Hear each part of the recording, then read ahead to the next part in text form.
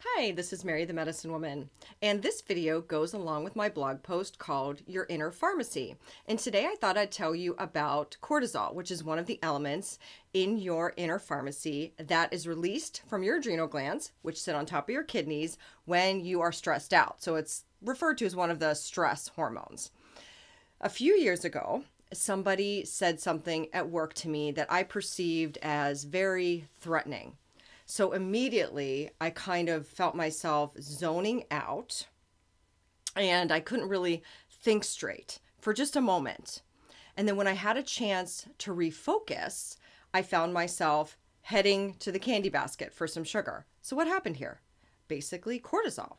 I cortisol happened. I perceived a threat. My body released cortisol. It caused my brain to kind of um, zone out a little bit um, so that I could get ready for like fight or flight. And also, my blood sugar went up.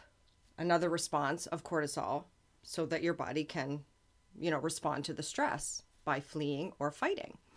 So eventually, when I did calm down and refocus, that spike in blood sugar went down a little bit, which resulted in a craving for sugar.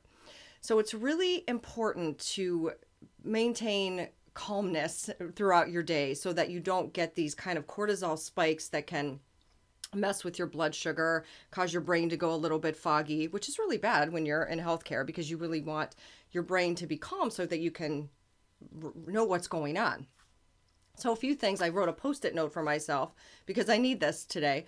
Things to help me stay calm and keep my cortisol levels normal.